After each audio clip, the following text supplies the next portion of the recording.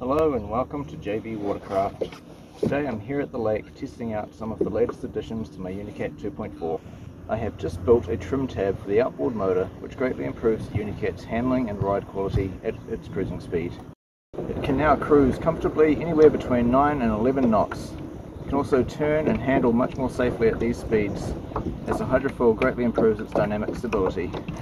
It also pops up on the plane much more quickly now and it rides a lot flatter as well. Overall, I'm very happy with the performance of this trim tab. I'm planning on putting some instructions up on my website so that you can build your own. Here's a close-up of that homemade trim tab. As you can see, it's made from an old aluminium road sign. It was very easy to make and well worth the effort considering that it was free.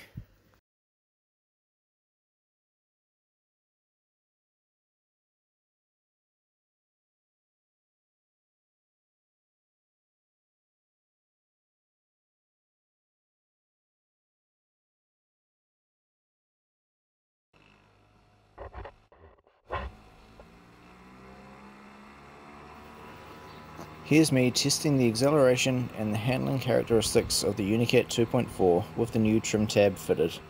This is filmed at its cruising speed of around 10 knots. Previously at this speed, the bow was way up in the air and the motor would intermittently cavitate. It would also produce a rather large wake.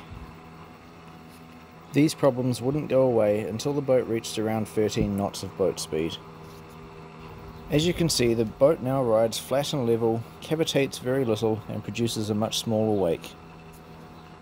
It's also much safer at this speed as the boat can turn much more easily. The trim tab also aids with maneuverability at these speeds by increasing the dynamic stability. The slight reverse dihedral on the end of the trim tab keeps the boat stable through the turns and means I do not have to shift my body weight anymore to keep it stable.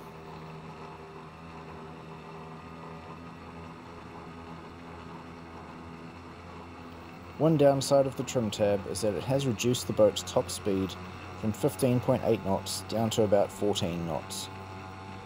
However, this was to be expected and I'm still very happy with the boat's top speed. And since I intend to spend most of my time cruising at around 10 to 11 knots, the gains made at these speeds are well worth the slight drop in top speed.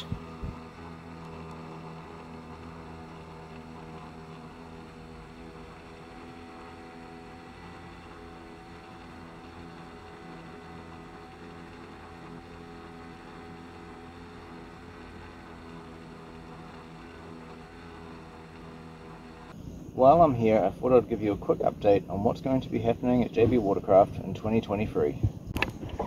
This year I'll be releasing the new Unicat 2.8 Sail, which is the sailing version of my already popular Unicat 2.8. I'll also be releasing an updated version of my Eagle 4.6 Power Trimaran. I have also designed a DIY plywood surfboard, however I just need to build a uh, build a prototype first and test it thoroughly and then I can release it to the public. And finally I'll be releasing a brand new YouTube video series called Unicat Adventures. This is where I take my Unicat 2.4 here and go on some adventures all around this part of New Zealand. I'll be trying some fishing, some sailing, maybe even some environmental cleanup work and just some general adventures and fun. So keep an eye on my YouTube channel, my Facebook page and my website for updates. Right now I'm heading into the beach for a swim.